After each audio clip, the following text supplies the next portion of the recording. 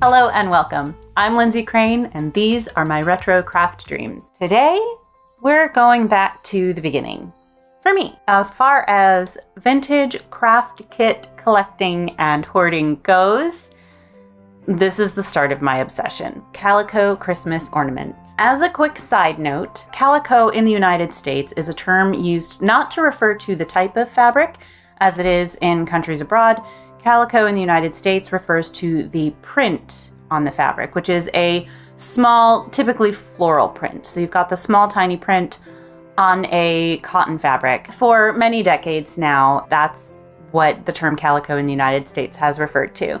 And so that is how I will use the term on this channel. This is arguably one of my favorite retro vintage things. I was doing a puzzle with this wonderful, cozy Christmas aesthetic. I'll try and put a picture up. And yeah, it's got the, the calico Christmas ornaments on the tree and, and the wrapping paper, and it's got the brick hearth, and it's just homey, cozy, very warm vintage vibe that just feels like a hug. and I found online these calico Christmas ornaments by a company called Yours Truly.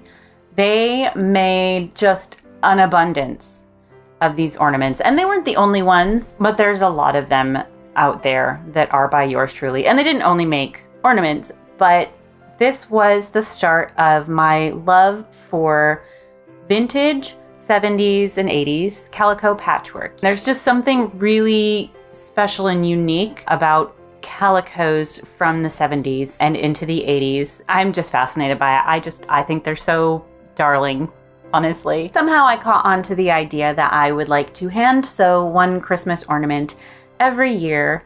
And I'm working my way towards this cozy calico Christmas collection. Not everything is calico, but uh, I'll definitely have my 80s Christmas going given enough time. So two years ago, I made this one, and that was as far as I got. And then last year, I made this one. And I had wanted to make more, but this was as far as I got. And it occurred to me that I could just make that be my new tradition to hand sew one of these ornaments every year. So this year I'm going to make my third ornament and I've chosen a rather simple one um, because I have a lot to do. Uh, but it's going to be a nice quick make. Even though I'm hand sewing, it's still going to go pretty quickly. The kit I'm working on today is from 1976 However, I didn't want to go too much into the specific year for these kits because I feel like they were probably in production for several years. And when you look at just a calico Christmas kind of aesthetic, you are going all the way into the early 80s. Um, and I'm not exactly even sure when it starts, probably in the early 70s. So this is a style of prints and, and things that have just, they were around for a good long time. So for these ornaments, I'm not going to get too far into a specific year, but I think they were most prevalent in that 70s, 80s cusp, you know, the late 70s to the early 80s. So I'm going to work on my annual calico Christmas ornament. And stay tuned for my next episode. I've got another really great 80s kitschy Christmas piece coming. This is the Three Christmas Trees Ornament Kit by yours truly. I have opened it previously. I've, you know, many times thought I was going to start ornaments that I was not able to. So in here, we've got just the back of the picture has the pattern on it. And I will need to get some tracing paper. I don't ever cut these. I will trace it onto something else so I can keep this intact. So, we've got some felt, which I believe is for the trunks. And then we've got these smaller bits of calico. Look how cute that is. They're just so pretty. But like clearly vintage. Then we have a gingham, this blue and green polka dots. And then we've got the larger piece for the back of the trees and our bit of batting. I did have a look ahead of time at these instructions and I'm going to need to cut them into strips and sew them all together first. So we're looking at one and a half inch wide by six inch long. All right, so we need to keep them on their length and we're just cutting one and a half inch this way. For things like this, I actually like to use a T-square because I can put it right on the edge of my cutting mat and know that I'm getting a perpendicular cut.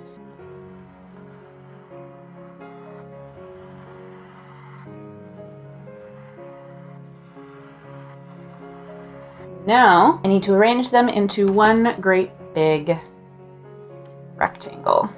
And we want each tree to have each fabric, yes? And I should probably definitely make sure I alternate between green and blue.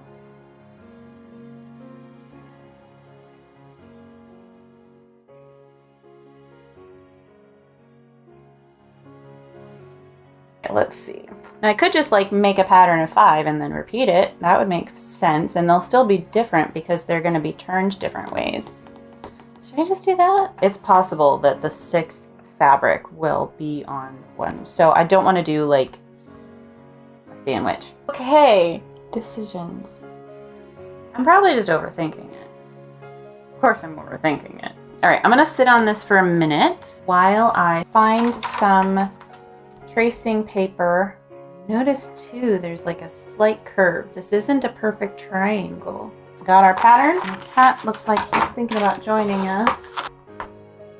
I do actually think I like the newsprint better for this. It's kind of a little more difficult to see through, but it's slightly sturdier and I think that's worth it. But I don't know what I did with all my newsprint. So I'm gonna put this here. Really? Dude, do you have to be right here?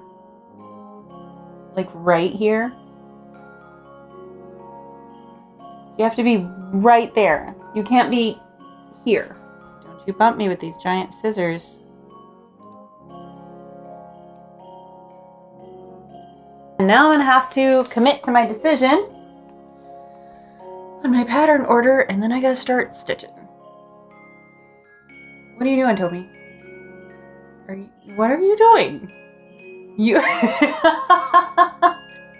I don't know if I'm to be sewing at this table today. Hi. What do you want today? I just need to start sewing.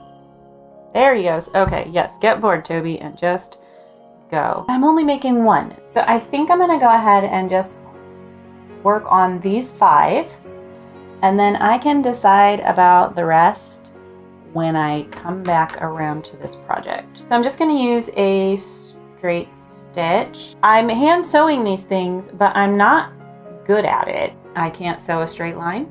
so I'm just going to mark that with a friction pen on the wrong side. And I probably need some pins too, don't I? Let the awkwardness commence.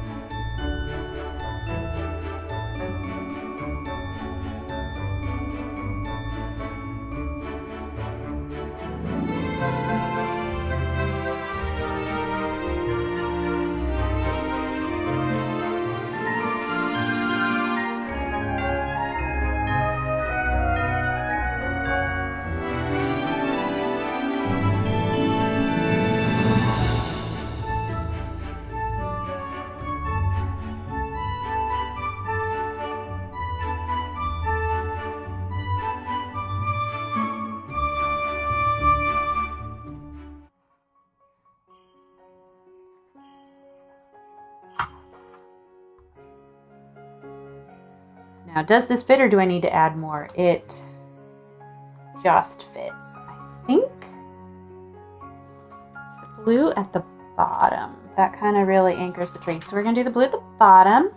I'm very much in the camp of I kind of would rather not have the seam allowance. I'd rather have the stitch line.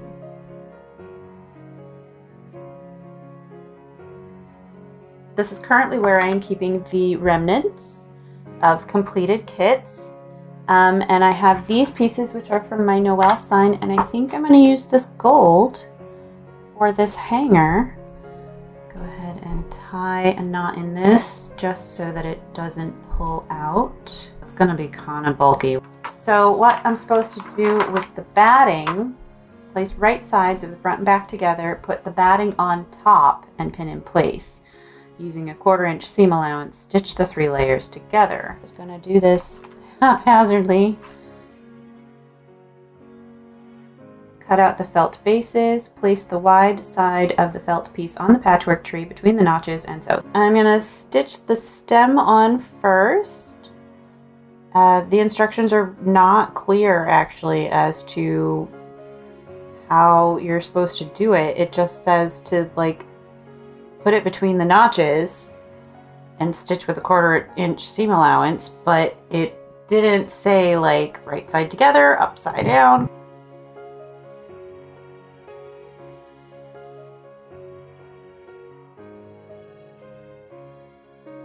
Now we gotta make our little sandwich. So it's gonna be right sides together. Okay, now the hanger I am making up myself. So that's not how that goes. It goes like this, Lindsay trick is I need to make sure I don't accidentally stitch into this. So that's just to keep it out of my seam allowance. Let's go ahead and pin that in place. Although this knot is like really chunky, but if I can get enough stitches in it, maybe I can cut the knot out. And then this, and then this. Ooh, pin that all together. We start here.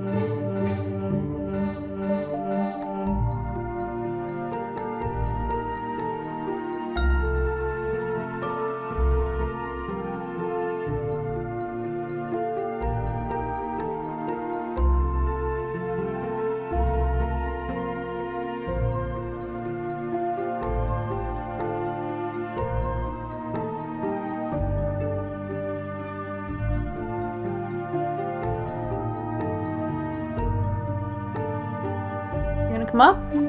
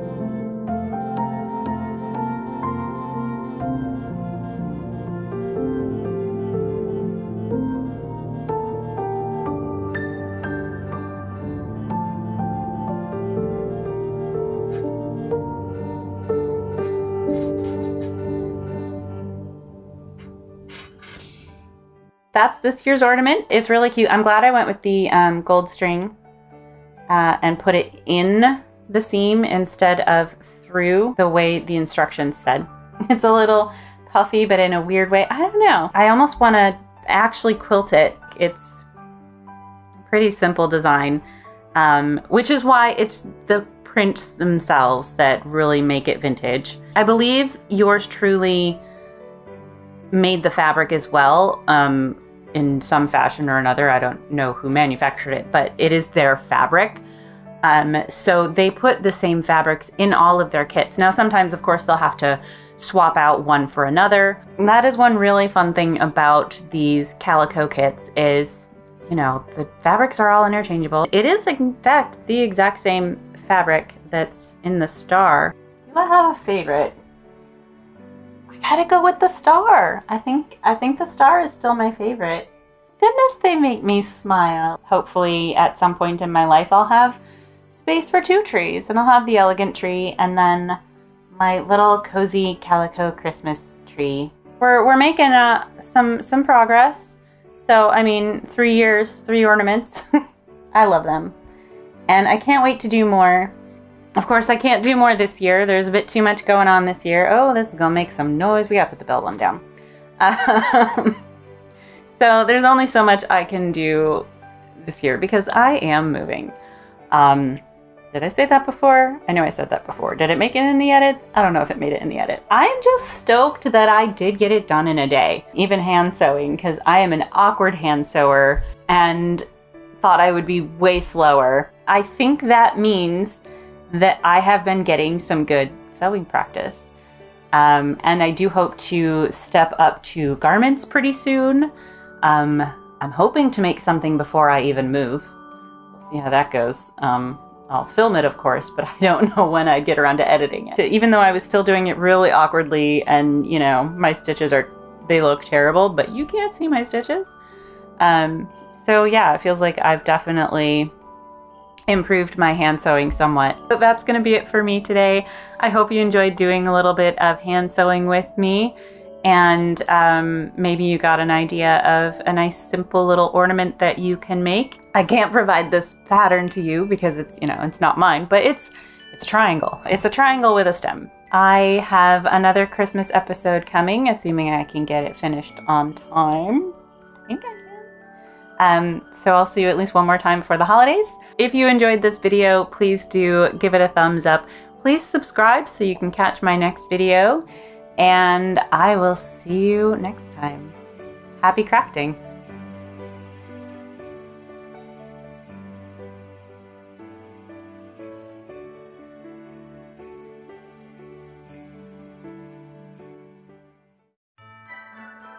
What did I say? One and a half inch? I have already forgotten. Lindsay's awkward. awkward. You can't have my needle cake. Go in the window. Go in the window. In the window. Where, where are my friction pens? Let's get a red and a green. You're my light. Hey! What you reframing my camera for? Oh, what is happening right now? Awkward, awkward. I'm so awkward. I'm an awkward, awkward person. Lindsay is awkward at sewing. Awkward. Awkward. Awkward. Why are you showing them your butthole? People don't actually want your butthole. Just because you're a cat that your butthole is, like, divine? Hey, bud.